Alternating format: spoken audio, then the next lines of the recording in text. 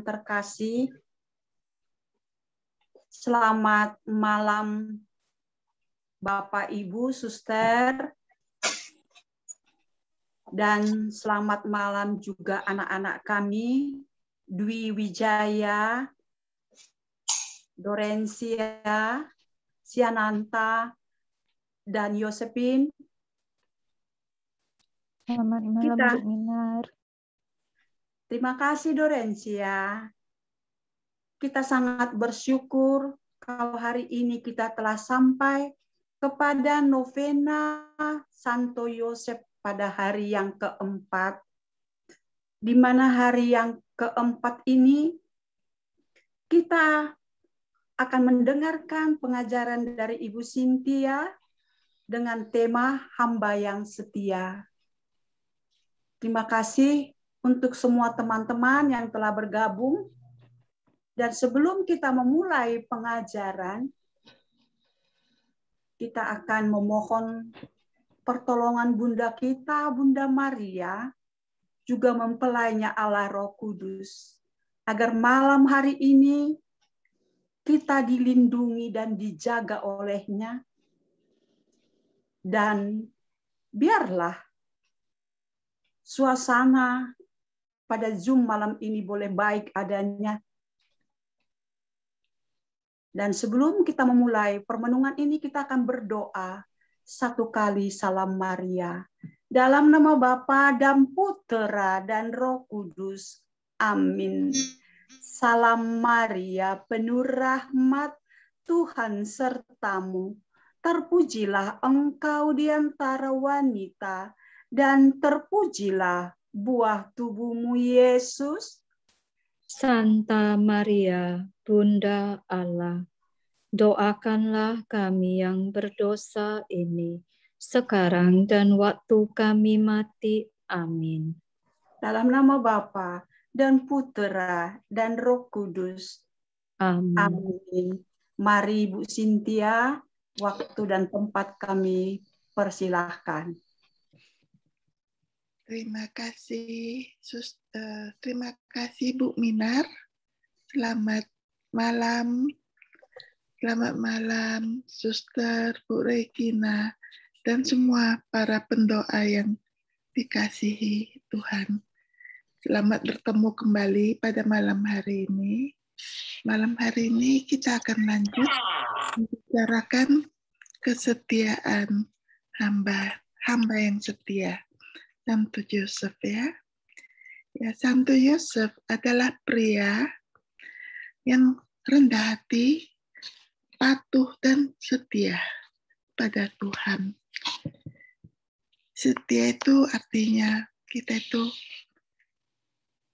harus selalu setia di dalam segala tugas apa pun yang diberikan oleh Tuhan dan selalu setia dalam mengasihinya itu yang terutama di dalam penderitaan di dalam kesusahan kita harus selalu setia di dalam mengasihinya. Terutama dalam mengasihi itu, selalu kita harus nomor satukan Tuhan dalam hidup kita, sehingga kita tidak akan melarikan diri kalau kita di dalam penderitaan. Karena hidup kita itu tidak akan lepas dari penderitaan justru dari penderitaan itu kita belajar banyak. Oleh sebab itu malam kita malam ini kita lihat apa yang kita bisa ikuti dan meneladani Santo Yosef yang sangat kita kasihi. Dia adalah orang yang benar. Dalam Injil, Santo Yosef adalah tokoh sentral dan teladan yang bijak bagi kita semua. Sebagai suami dari Bunda Maria dan akan segera pada saat itu ya akan segera menjadi ayah asuh dari Tuhan kita Yesus. Dia mengambil semua tanggung jawab kepala keluarga. lebih penting lagi, dia memiliki hak istimewa untuk menjadi kepala duniawi dari keluarga paling suci yang pernah ada, yang telah diakui oleh gereja sebagai pelindung gereja. Jadi kita menghormati Santo Yosef atas tanggung jawab, kerendah hati, dan pengabdiannya kepada Tuhan. Siapakah Santo Yosef itu? Segala sesuatu yang kita ketahui tentang Santo Yosef berasal dari kitab suci. Di Injil Matius dan Lukas menelusuri garis keturunan Santo Yosef sampai ke Raja Daud. Mengapa itu penting? Ini penting karena memenuhi janji Tuhan kepada Daud bahwa dia akan mendirikan kerajaannya dengan darah dan dagingnya sendiri. Yosef adalah seorang tukang kayu sederhana yang bekerja keras dan mendapatkan upah yang tidak seberapa. Kita melihat dalam Injil bahwa dia bertunangan dengan Maria.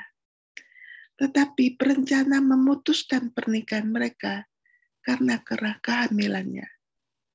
Namun Yusuf percaya malaikat Tuhan yang menampakkan diri kepadanya yang datang di dalam mimpinya, yang memberikan pesan-pesan padanya, yang akhirnya ia memilih untuk mengambil Maria sebagai istrinya dan membesarkan putranya, yaitu Yesus, sebagai putra Allah. Ya, kita di sini juga uh, tidak uh, tidak pernah mengetahui ya uh, di Injil tidak mengajarkan bahwa dia itu meninggal di, di mana, kapan waktunya.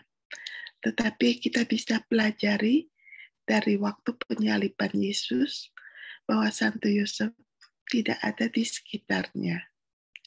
Jadi dari pelajaran dari yang kita ambil dari Alkitab. Saat di kayu salib, Yesus memberitahu pada muridnya Yohanes lihatlah ibumu.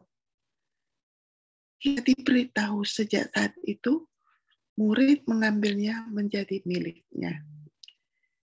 Ya, itu nanti besok ya kita akan besok-besok kita akan bahas untuk hal itu sebagai kepala keluarga ya. Gereja memandang eh,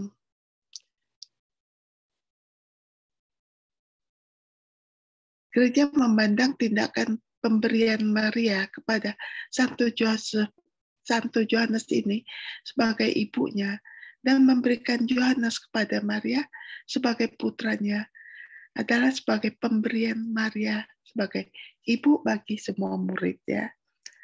Karena itu kita juga berani memanggil Bunda Allah sebagai Bunda Gereja. Jadi Yusuf digambarkan dalam Injil sebagai orang yang saleh, pengamat, dan yang taat. Menurut hukum, pertunangan dia dan Maria adalah langkah mengikat pertama dalam pernikahan mereka. Begitu Maria diketahui mengandung, Joseph membuat keputusan penuh kasih untuk menceraikannya secara diam-diam dan menyelamatkan mengamankannya dari eksposisi yang memalukan. Dia tahu jika dia mengeksposisi Maria di depan umum bahwa dia bisa diadili dan mungkin dirajam sampai mati. Itu adalah niat rencananya. Maka sampai malaikat Tuhan menyenampakkan diri kepadanya dalam mimpi. Jadi saya teringat kemarin ada pertanyaan dari Ibu Minar mengapa Santo Yosef selalu berada kenapa ada patung dalam posisi tidur karena ia selalu diberikan pesan-pesan oleh malaikat saat untuk menyelamatkan keluarga suci ini di dalam posisi tidurnya. Jadi selalu mendapatkan mimpi dan menerima kekuatan bahwa ia bagaimana ia menyelamatkan keluarga tersebut dalam waktu tidurnya. Jadi mengapa Santo Yosef memilih untuk mempercayai mimpinya? Maria adalah penggenapan nubuat yang diketahui oleh Yusuf. Kelak, sebagai seorang Yahudi yang taat. Pada akhirnya, kerendahan hati dan iman Santo Yosef ya kepada Tuhan yang memberinya kebijaksanaan untuk menerima dengan taat dan setia mengikuti perintah malaikat. Yusuf adalah putra Daud dan sudah akrab dengan nubuatan Yesaya bahwa Mesias akan datang dari keluarga Daud. Yusuf memiliki keyakinan bahwa Tuhan eh, bahwa rencana Tuhan dalam dua cara yang penting.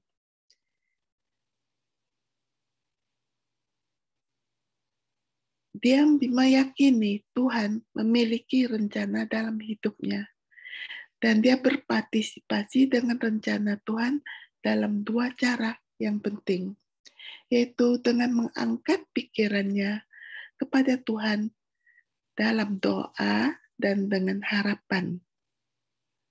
Dan yang kedua, kepercayaan yang konstan pada rencana Tuhan tidak peduli betapa anehnya hal tersebut.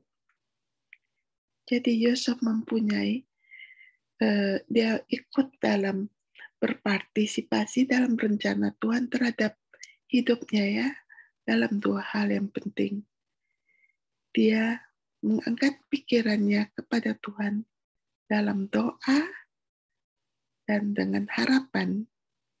Dan yang kedua, kepercayaan yang konstan pada rencana Tuhan. Tidak peduli betapa anehnya hal tersebut. Bagaimana kita tahu pasti Tuhan punya rencana untuk kita sendiri. Yang pertanyaan untuk diri kita, tentunya Tuhan selalu mempunyai rencana yang indah pada setiap orang-orang yang dikasihinya, yang telah dihadirkannya di dunia ini. Tentu bagi khususnya bagi mereka yang percaya kepadanya dan taat kepadanya dan setia kepadanya dalam suka dan duka dalam hidup. Karena hidup ini ada hidup yang penuh perjuangan ya. Jadi kita tahu dengan keyakinan bahwa Tuhan memiliki rencana untuk hidup kita karena dia memberitahu bahwa dia mempunyai rencana karena aku tahu rencana aku miliki untukmu, firman Tuhan rencana untuk kesejahteraan dan bukan untuk kejahatan, untuk memberimu masa depan dan harapan. Dalam Mazmur 16 berbunyi, Ya Tuhan, Engkau yang menjadi bagian dan cangkirku.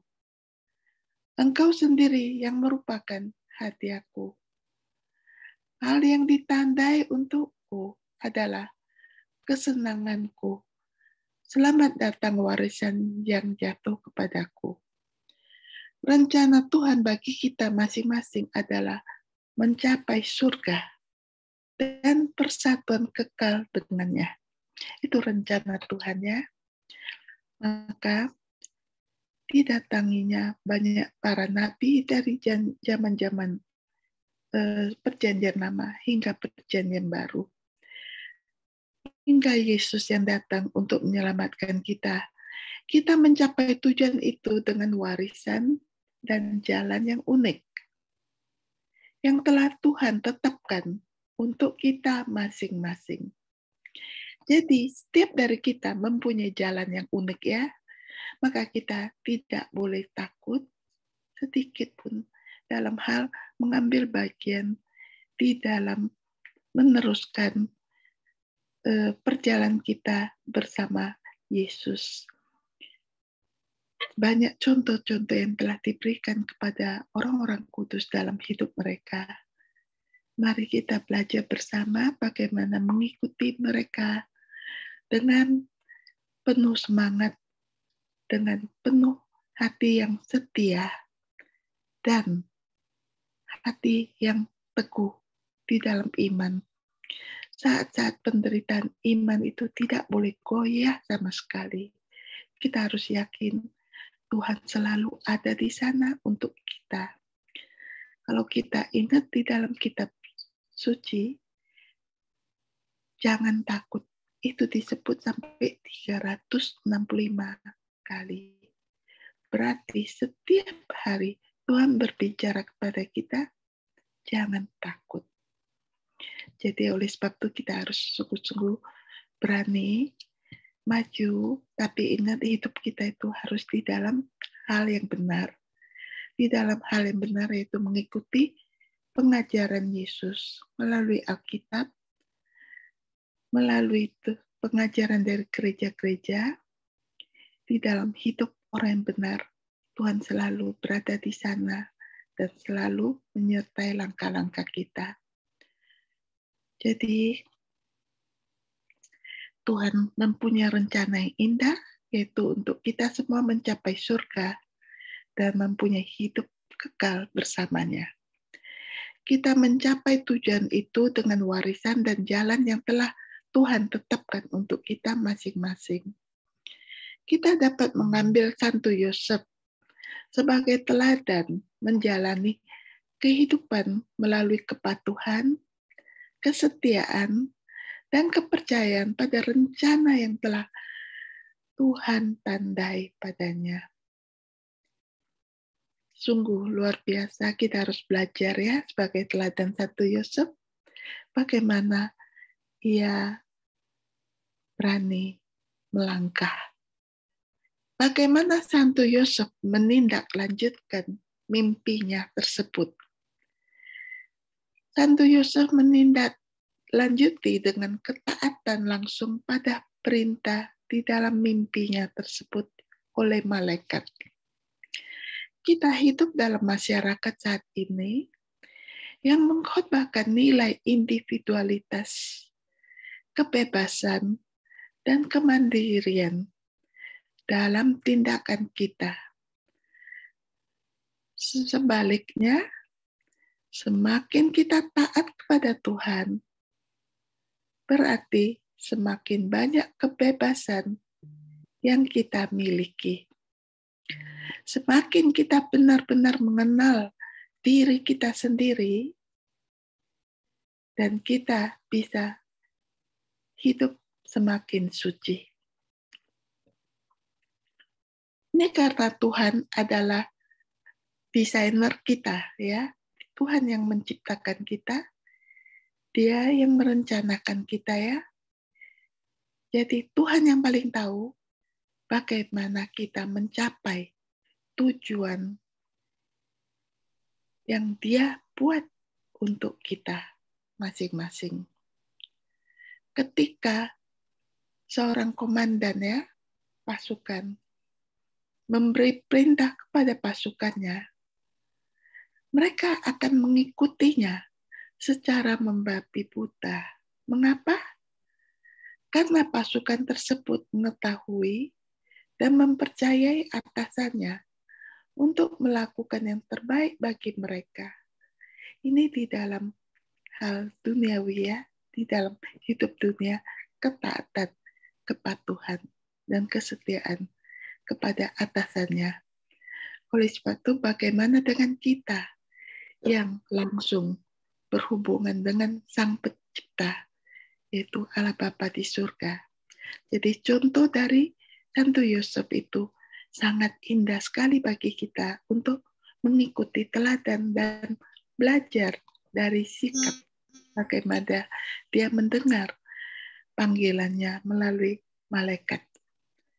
Jadi kita memahami bahwa rencana Tuhan bagi kita tidak hanya mempengaruhi kita, tetapi juga rencana Tuhan dalam perawatan kita semua. Dalam kasus Santo Yosef, rencana Tuhan untuk hidupnya juga mempengaruhi kehidupan Bunda Maria dan Sang Juru Selamat kita, Yesus Kristus.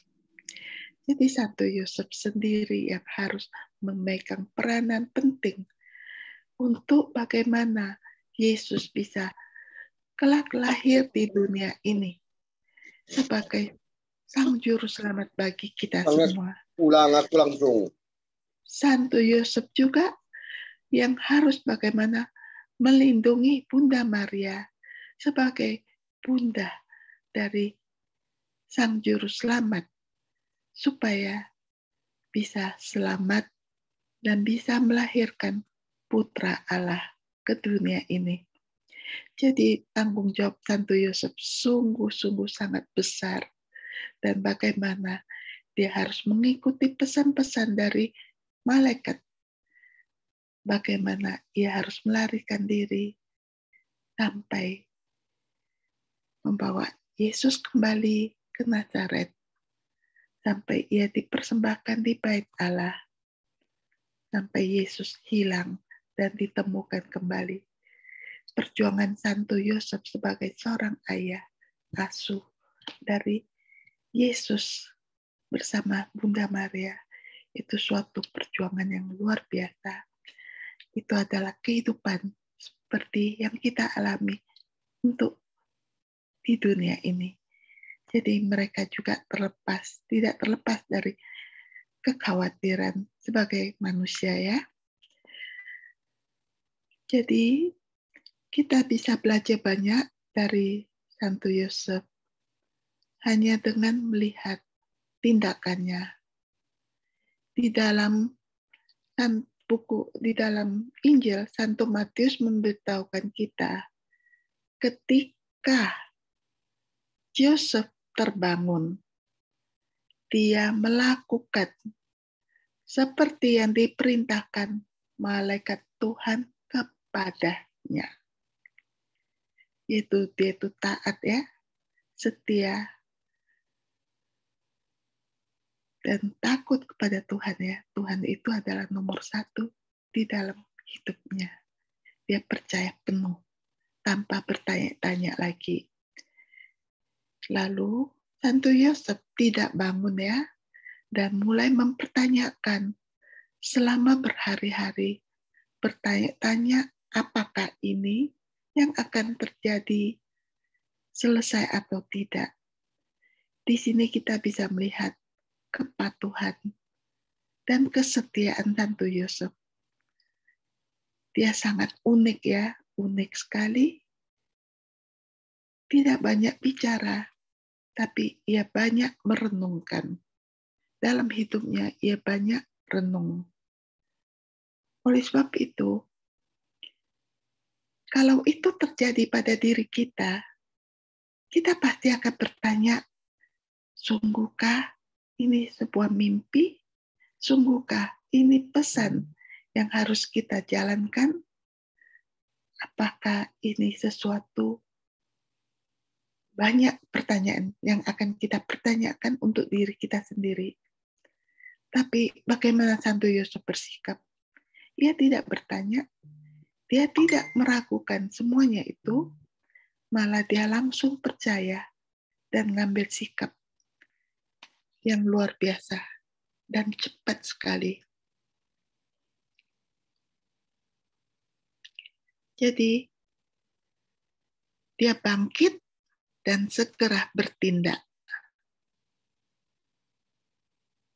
Kalau kita ingat kembali cerita dari Beata N. Emmerich,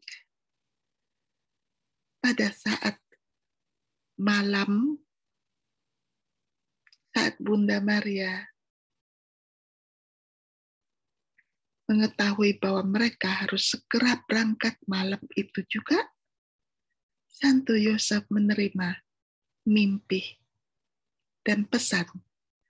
Malam itu juga, itu hanya beberapa jam saja, mereka harus mempersiapkan diri mereka, segera mengepak barang-barang mereka yang diperlukan selama di dalam perjalanan untuk melarikan diri, membawa Yesus lari ke Egypt untuk menyelamatkan diri dari Herodes.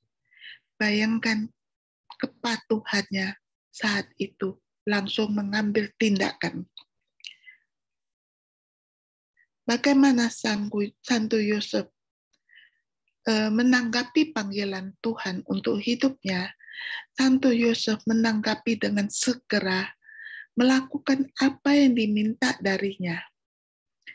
Santo Yosef memenuhi misi hidupnya, panggilannya.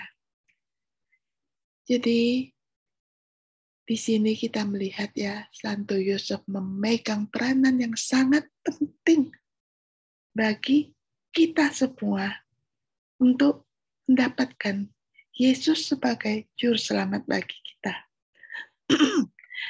Tanpa Santo Yosef mengiyakan dan berani mengambil tindakan, kita tidak akan mempunyai Yesus hari ini. Jadi selain Bunda Maria, Santo Yosef pegang peranan yang luar biasa. Kita sungguh-sungguh harus berterima kasih kepada Santo Yosef bagaimana dia sungguh-sungguh memenuhi misi panggilan hidupnya dengan patuh dan setia dan penuh kerendahan hati dan tidak banyak berbicara tapi bertindak dengan tepat.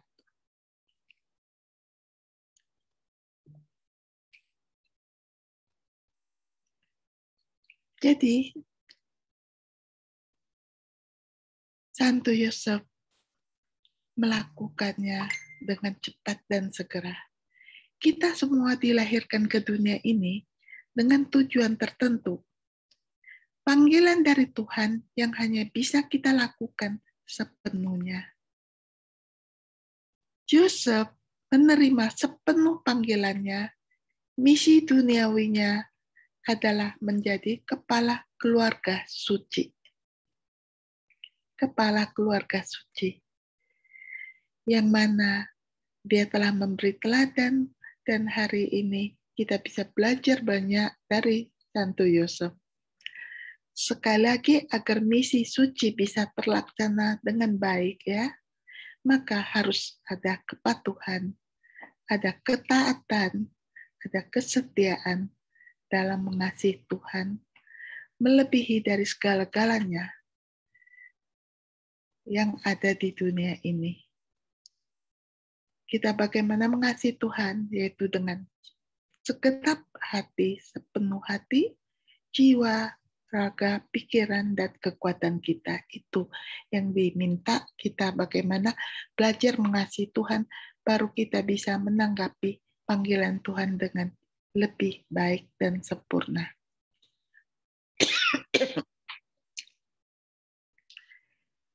Jadi pada tahun 1870 ya, Paus Pius IX ya memutuskan bahwa kita harus menghormati Santo Joseph dengan gelar sebagai pelindung gereja Katolik. Santo Yosef juga dikenal sebagai pelindung para ayah, ibu hamil, pengelana melawan keraguan-raguan. Ingat kita hidup banyak tantangan dan penuh keraguan. Selalu ingat kembali kepada Santo Yosef untuk memohon kekuatan darinya. Sebagai pekerja, khususnya tukang kayu ya, dan untuk orang-orang yang sekarat ya. Pada bulan Mei tahun 2013, Santo Yosef, pasangan Bunda Maria, ditambahkan ke dalam doa syukur agung yang kedua, ketiga, dan keempat umat beriman di gereja Katolik telah menunjukkan pengabdian yang terus-menerus kepada Santo Yosef dan telah dengan sungguh-sungguh dan terus-menerus menghormati dan mengingatnya sebagai pasangan yang paling suci dan Bunda Allah dari Bunda Allah dan sebagai pelindung surgawi untuk gereja universal. Jadi untuk alasan ini, lihat waktu itu ya, Paus Johannes 23 yang telah diangkat menjadi santo sekarang ya.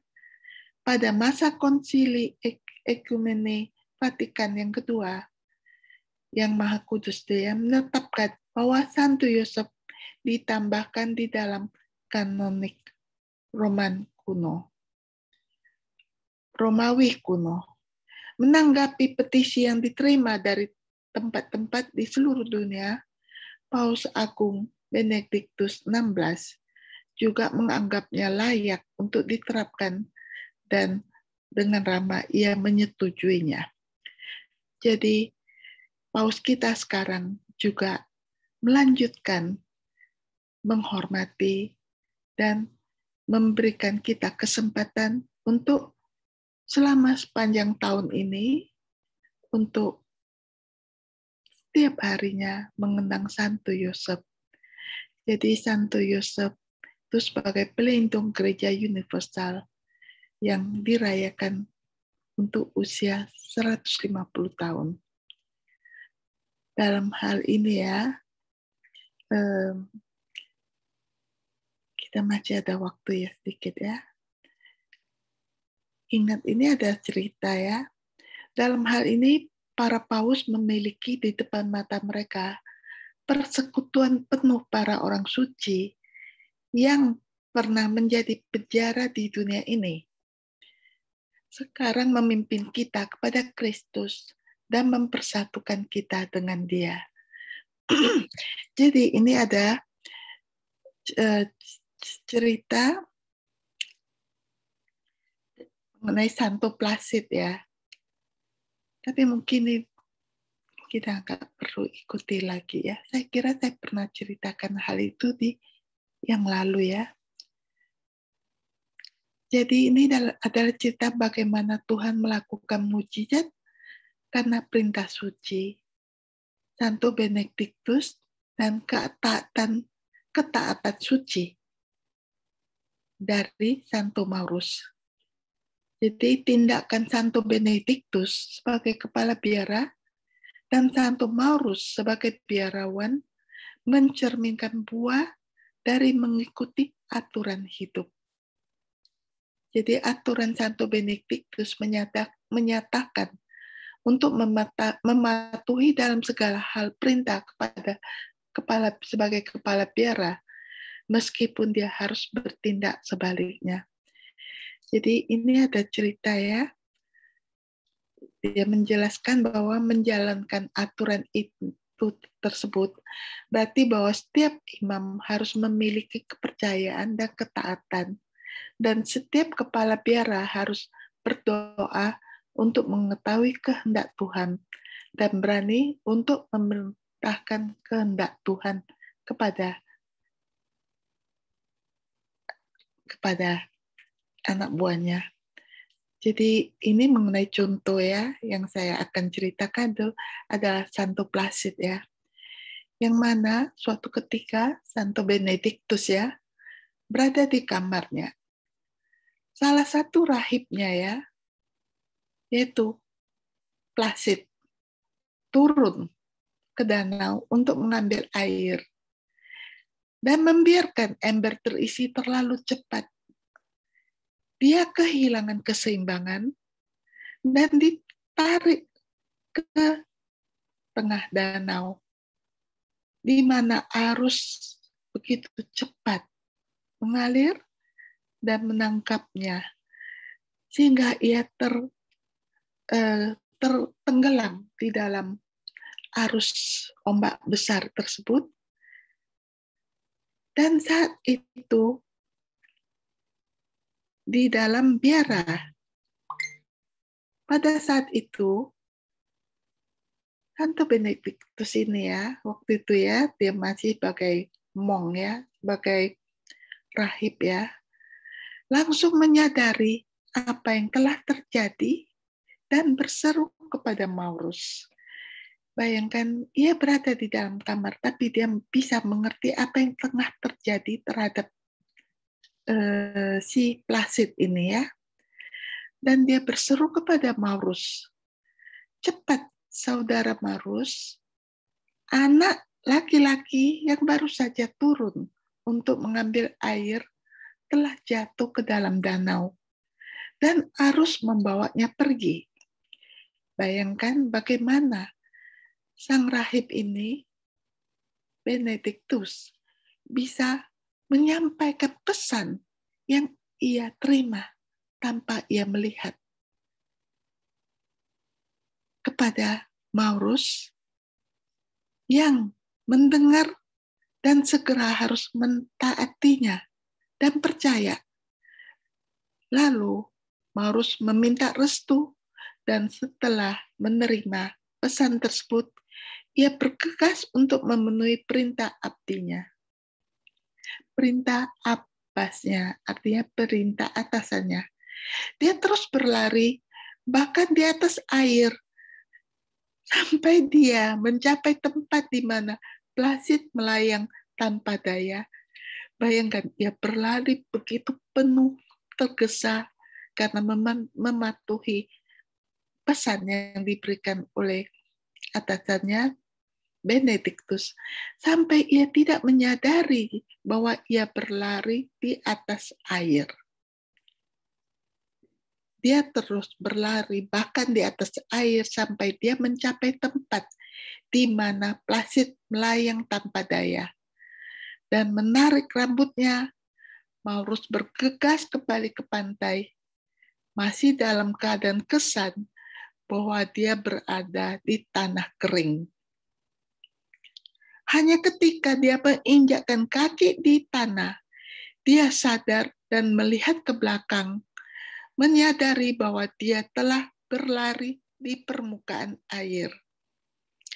Karena diliputi rasa takut dan takjub atas perbuatan yang tidak pernah terpikir olehnya, dia kembali ke kepala biara dan menceritakan apa yang telah terjadi. Ya, begitulah kisah dari si Placid itu ya. Sehingga dalam cerita ini Tuhan melakukan mujizat karena perintah suci Santo Benedictus dan ketaatan suci Santo Maurus. Jadi kedua-duanya telah menjadi santo. Jadi jadi bagaimana dengan kita dalam hidup kita? Kita akan diberi tanggung jawab atas orang lain serta bertanggung jawab atas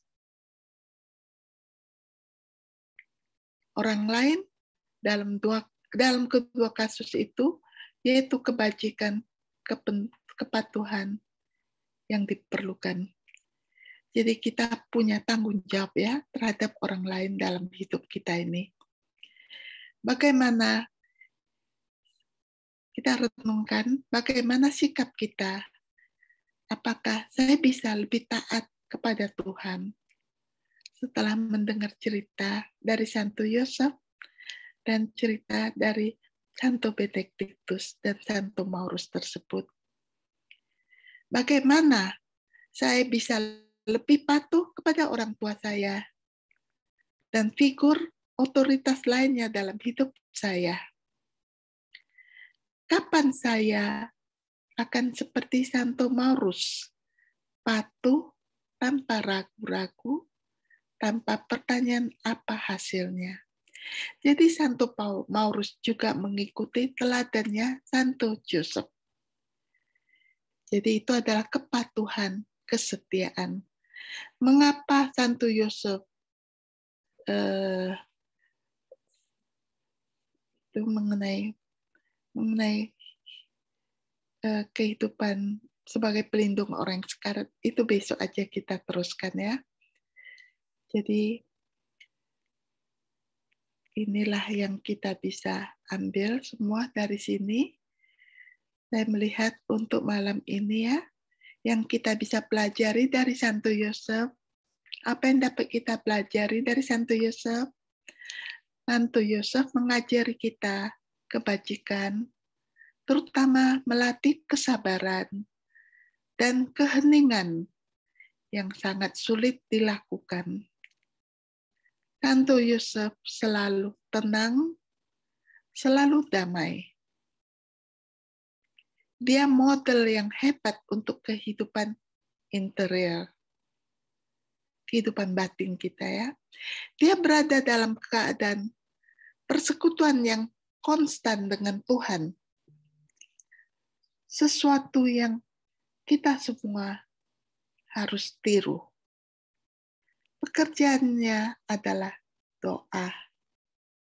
Dan doanya adalah karyanya. Demikianlah saya harap kita bisa meneladani hidup Santo Yosef. Dan itu yang Tuhan Yesus dan Bunda Maria inginkan kita untuk belajar hidup dari mereka sebagai keluarga kudus, teladan yang indah dan sangat bagus untuk kita renungkan. Saya kembalikan kepada Ibu Minar malam ini. Terima kasih untuk semuanya.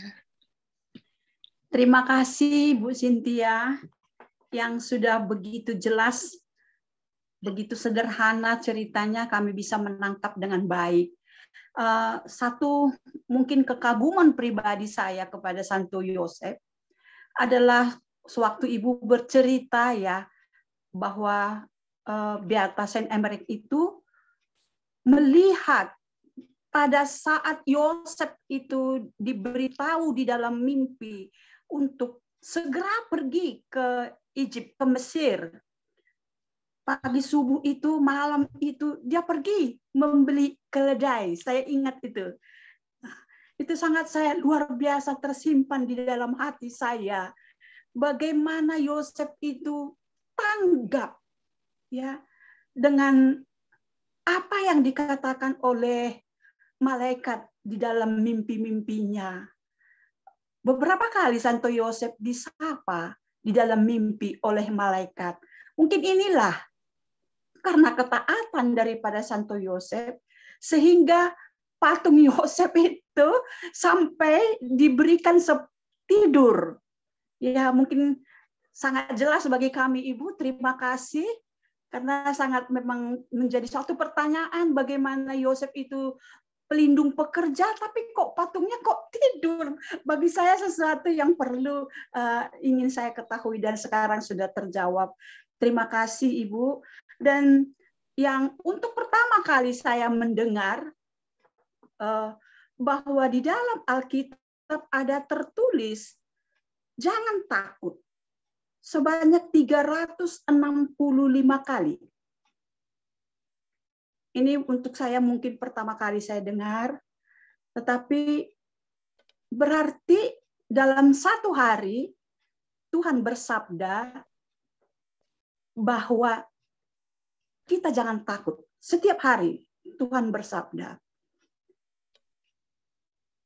Saya hanya menyimpan itu di dalam hati saya dan saya akan membagikan itu kepada teman-teman.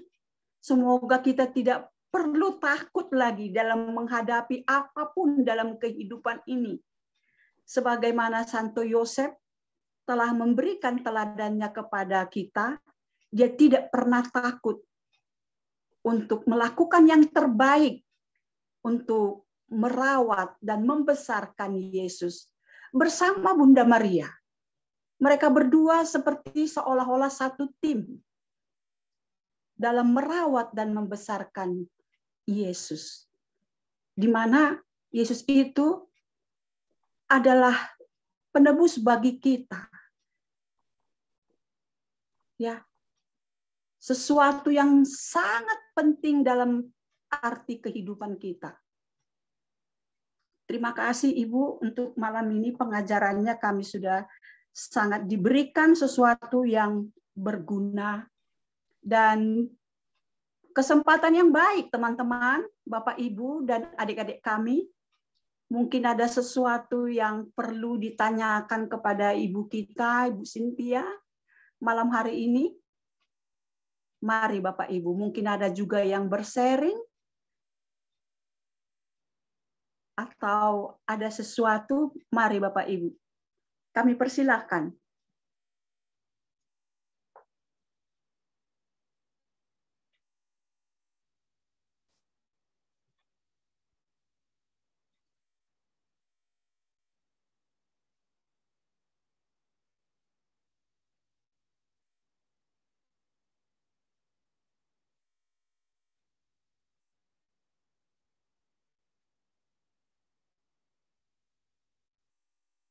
Atau mungkin ada yang mempunyai suatu pengalaman rohani?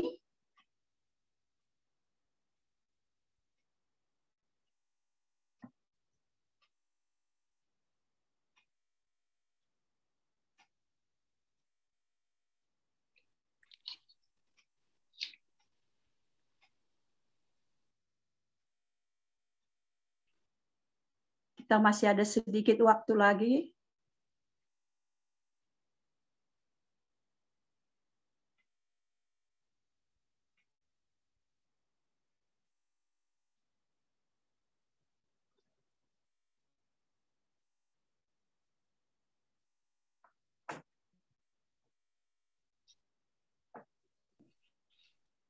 adakah? Tetapi memang sudah beberapa waktu, beberapa kali kita membahas tentang Santo Yosef dan mungkin sudah sangat jelas ya Ibu ya. Begitu sederhana, begitu giatnya, taatnya di situ Santo Yosef boleh menjadi teladan kita.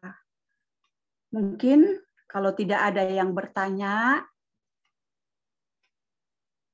mari kita akan menutup pertemuan kita malam hari ini dengan doa yang dibawakan oleh Ibu Yanti. Masih adakah Ibu Yanti?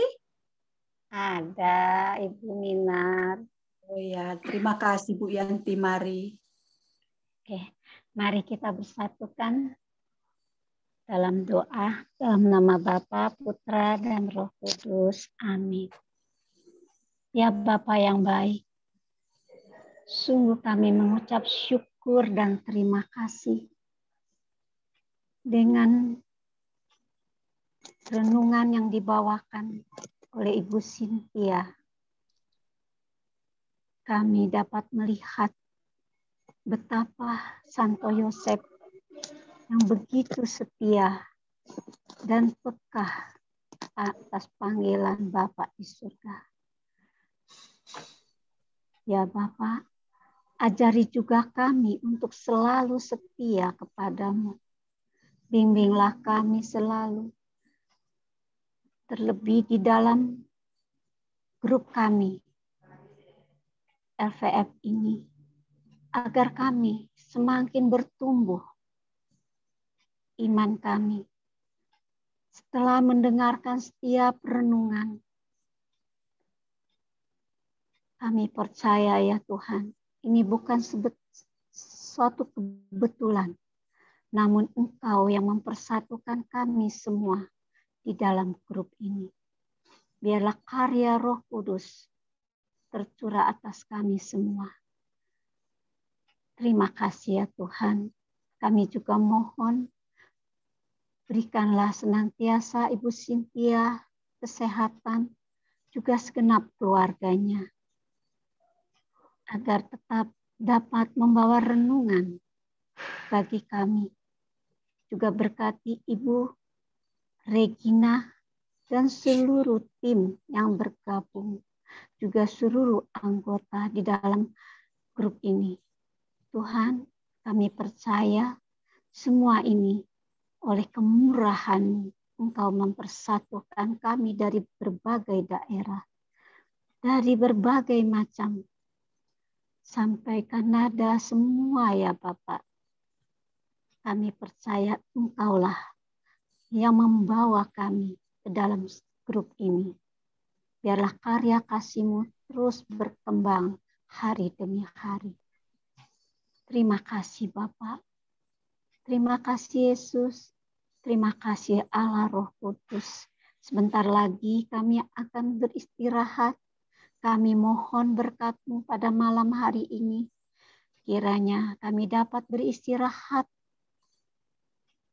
hingga besok pagi bangun dengan badan yang sehat, pikiran yang sehat, untuk kami kembali menjalankan aktivitas kami. Terima kasih. Terima kasih Yesus. Terima kasih Allah Bapa Tritunggal Maha Kudus. Terima kasih. Bapak Santo Yosef, doakanlah kami. Bunda Maria, doakanlah kami. Kemuliaan kepada Bapa dan Putra dan Roh Kudus seperti pada permulaan, sekarang, selalu, dan sepanjang segala abad. Amin.